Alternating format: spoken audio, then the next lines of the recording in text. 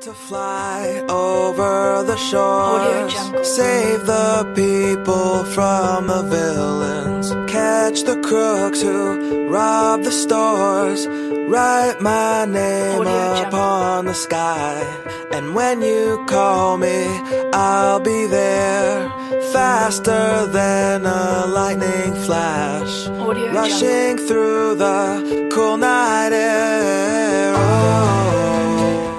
Ein herzliches Grüß Gott hier in der Pfarre St. Theresia. Unwahrscheinlich, wie schnell die Zeit vergeht. 60 Jahre ist es her, dass ich in Klagenfurt geboren und auch getauft wurde. 25 Jahre sind vergangen seit meiner Priesterweihe im Dom und immerhin schon 15 Jahre darf ich hier in der Pfarre St. Theresia in Klagenfurt als Stadtpfarrer wirken. Unwahrscheinlich, wie schnell die Zeit vergeht. Etwas, das ich auch vor fünf Jahren, als ich mit dem Schnitzen begann, versucht habe, in diesem Bild darzustellen. Und damals schon habe ich auch versucht, möglichst viel Symbolik in die Bilder hineinzubringen.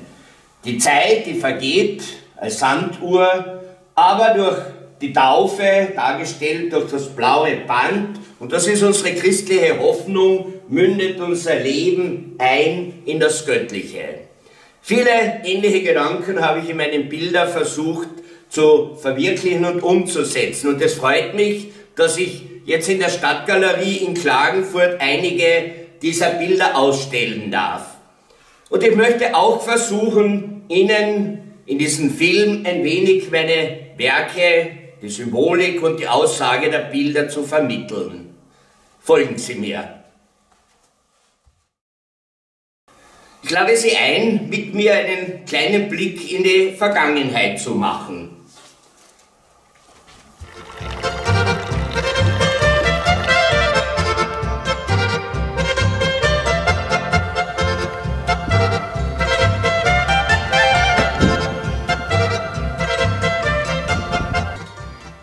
Hermann Thaler hat in diesem Jahr auch die Linde oder einen Teil der Hoflinde hier gefällt. Und das war ein guter Anlass für mich auch gleich um Schnitzholz zu bitten. Aus dem Holz dieser Linde wurden dann auch einige Werke von mir angefertigt.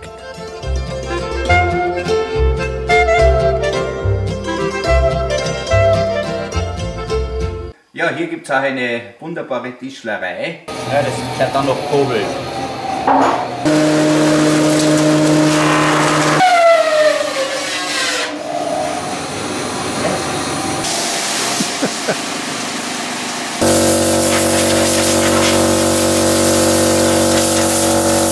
Unwahrscheinlich, wie schnell die Zeit vergeht. Auf meinem Weg als Priester hat mich immer auch mein Kreuz begleitet. Und so kam eines Tages die Idee, für den Abend, fürs Gebet auch eine Unterlage, eine Ablage zu schaffen. Und ich schnitzte mein erstes Werk, in das ich mein Kreuz auch hineinlegen kann, für Andachten und für Gebet. Und aus diesem ersten Kreuz wurden dann viele weitere Kreuze und Darstellungen. Viele meiner Bilder schenke ich Menschen, die mir nahestehen, Menschen, die mir etwas bedeuten. So konnte ich jetzt vor kurzem bei der Firmung in St. Theresia Kardinal Vinko Bulic, aber auch unser Bischof Schwarz schöne kleine Kreuze überreichen. Lassen Sie sich von mir ein paar meiner Bilder erklären. Hier eine Darstellung, die ich Aufbruch genannt habe. Für uns Menschen ist es wichtig, aufzubrechen dem Stern zu folgen, den Ideen zu folgen. Dargestellt sind die zwei Könige, wir kennen sie aus der Bibel, die aufbrechen, um Jesus zu suchen. Dargestellt aber auch ein Hirte, der aufbricht, um Jesus für sein Leben zu suchen. Das Ganze ist dargestellt mit einer Spirale im Hintergrund. Diese Spirale symbolisiert die Ewigkeit in die hinein wir gehen, weil wir als Menschen letztlich nie wissen, auf welche Zukunft wir uns äh, zu bewegen ist. Hier auf diesem weiteren Bild sehen Sie jetzt eine Darstellung der Kirche. Die Kirche dargestellt als Boot mit einem Kreuz als Segel. Und das für mich sehr wichtige und Aussagekraft ist, das Boot ist zwar in Wellenbewegungen, in Unruhe, aber das hat seine Gründe, weil nämlich Jesus, der Fisch, dieses Boot anschiebt. Er will, dass in seine Kirche Bewegung kommt. Der Fisch ist ein christliches Ursymbol, ich düs, Jesus Christus, Theosios der, also Jesus Christus ist der Sohn Gottes und der Löser. Er ist es, der seine Kirche antreibt, weitertreibt und der dem Volk Gottes hilft, das ewige Ziel im Himmel zu finden. Ja, manche Bilder sind von der theologischen Aussagekraft etwas stärker. Dieses Bild stellt dar die Salbung. Rechts oben das Salböl, auf der linken Seite die Wolke und die Hand symbolisiert letztlich Gott. Von ihm kommt alles. Er schenkt auch das Salböl, mit dem Priester, dargestellt mit der Stola, Könige und auch Propheten gesalbt werden. Eine Aussage, dass wir als Menschen alle Anteil haben am Königspriester und Prophetenamt. Eine Aussage, die auch hier ist, der Priester Josua hat ja göttliche Autorität bekommen dadurch, dass er das Hemd der Schuld ablegen durfte und sich das weiße Kleid anziehen durfte. Auf diesem Bild ist dann auch dargestellt, dass jeder von uns Christen das weiße Hemd, zumindest bei der Taufe drüber gelegt bekommt und damit von der Schuld befreit ist und dass er damit auch Anteil hat an Gott, an Gottes Leben. Durch die Taufe sind wir sozusagen hineingenommen in dieses Leben bei Gott. Viel zu lange würde es dauern, Ihnen dieses große Bild zu erklären. 300 Arbeitsstunden stecken drin. Es war auch eines jener Bilder, die ich in den ersten Jahren gemacht habe. Ich nenne es immer einen kleinen Altar. Sofort auffallend ist die Schlucht in der Mitte. Symbol für mich der Trennung zwischen dem Weltlichen und dem Göttlichen. Man sieht dann Mose, wie er durchs Rote Meer durchzieht. Sozusagen die Flucht von Ägypten, das Vertrauen auf Gott hinein in eine neue Zukunft. Und man sieht dann vor allen Dingen, und das ist die Hauptaussagekraft, das goldene Kreuz. Jesus ist derjenige, der durch sein Kreuz uns Zugang zum göttlichen Teil dieses Bildes vermittelt. Auf der Seite dargestellt auch der Turm von Babylon, die Versuche der Menschen zu Gott zu gelangen, die letztlich aber ohne Kreuz und ohne Jesu nicht funktionieren. Dargestellt die verschiedenen Wege, dargestellt auch die Ambivalenz des Wassers, einerseits die Taufe, einerseits der Untergang, denken wir an die Ägypter im Roten Meer, auf der anderen Seite aber auch das Wasser der Taufe, das uns Zugang zum Geist Gottes und die Zusage auch des ewigen Lebens schenkt. Viele weitere Einzelheiten sind in dem Bild von der Lebensgeschichte Jesu über den Jona, der auch dargestellt ist. Und es soll so ein Bild sein, vor dem man stehen und verweilen kann und ja auch ein bisschen selbst den Gedanken nachgehen sollte. Willkommen hier in meiner Werkstätte. Sie ist durch einen Umbau hier im Pfarrhof etwas kleiner geworden. Umso enger hängen jetzt die Bilder an der Wand. Derzeit bin ich gerade mit der Fertigstellung eines Bildes beschäftigt für meinen Freund und auch Holzspender, für Martin. Es stellt den heiligen Martin dar und den heiligen Franz von Assisi, der ja als Patron der Tierärzte gilt.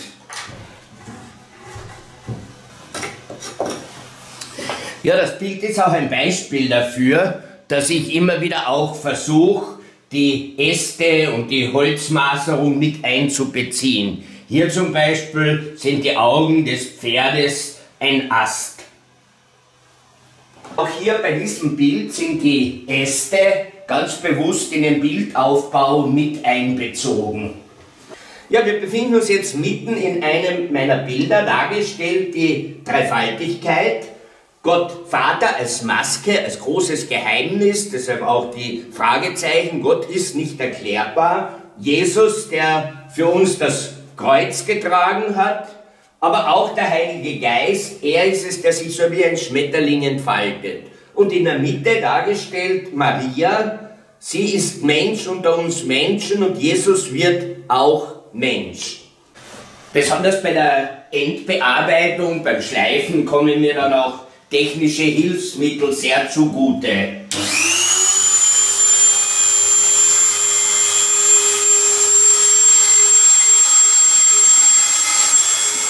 Ja, das Bild ist mehr oder weniger fertig. Sie werden sicher auch bei der Ausstellung schon anschauen können. Ein weiteres Bild, an dem ich gerade arbeite, ich habe schon einen Namen dafür, es heißt Druck. Dabei möchte ich versuchen, auch eine plattgedrückte Flasche in dieses Bild zu integrieren. Ja, ob ich es bis zur Eröffnung der Ausstellung schaffe, weiß ich noch nicht. Jedenfalls schwebt mir da vor, in den Hintergrund diese Flasche zu geben. Hier soll eine Walze und ein Gewicht entstehen, ein Hammer. Es soll auch symbolisieren, dass wir Menschen sehr oft unter Druck sind. Viele meiner Schnitzeisen habe ich ja noch von meinem Großvater und von meinem Vater. Bin sehr froh darüber, Natürlich habe ich auch in der Zwischenzeit einige neue Eisen besorgt. Ja, oft ist auch das Fernsehgerät hier recht nützlich, sei es um ein bisschen Musik zu hören oder auch um Inspirationen zu holen. Fotos etwa aus dem Internet inspirieren mich oft auch, meine eigenen Bilder zu gestalten. Die Schlange beim Baum der Erkenntnis die die Menschen immer wieder verführen möchte, auch das Negative zu tun.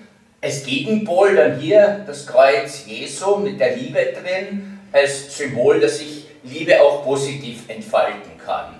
Ja, und was ich bei diesem Werk sozusagen erstmals probiert habe, ist auch das Licht mitspielen zu lassen. Und zwar, da habe ich eben eingebaut ein Licht, das symbolisch auch ja, das Göttliche darstellen soll.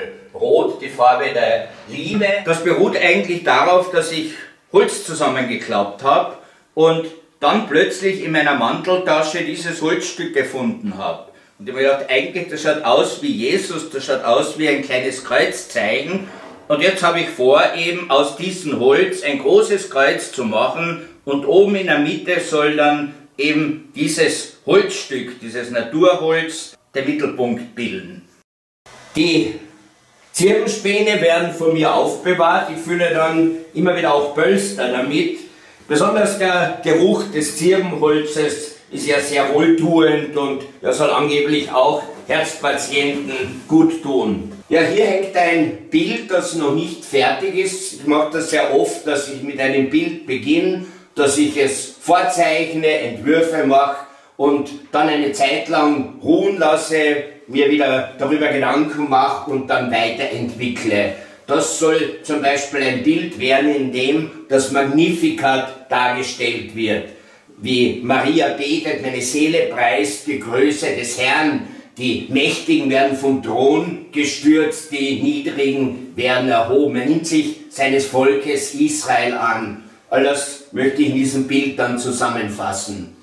Hier ist ein Bild, das schwebende Kreuz, das ist ein neues Experiment. Wenn man dazu fährt, dann schaltet ein Sensor das Licht ein, Symbol für Jesus. Und das soll symbolisieren, wenn wir uns auf das Kreuz zubewegen, dann wird das Licht Gottes, wird das Licht Jesus sichtbar. Das Bild mit dem Martin und dem heiligen Franziskus ist fast fertig. Ich habe es geschliffen und jetzt wird es noch einmal mit tiefem Grund angestrichen. Das hat den Sinn, dass sich die Poren öffnen und wenn das dann getrocknet ist, dann wird das Bild noch ein letztes Mal geschliffen und ist damit dann auch fertig.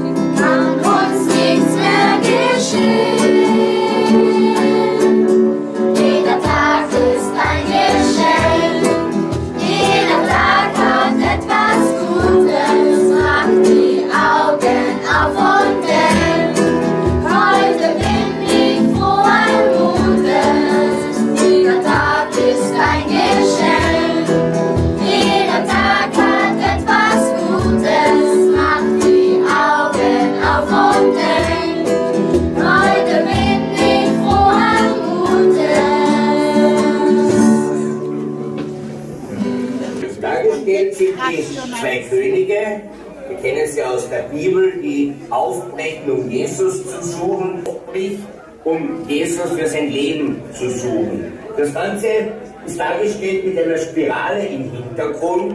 Wichtige und außergewöhnliche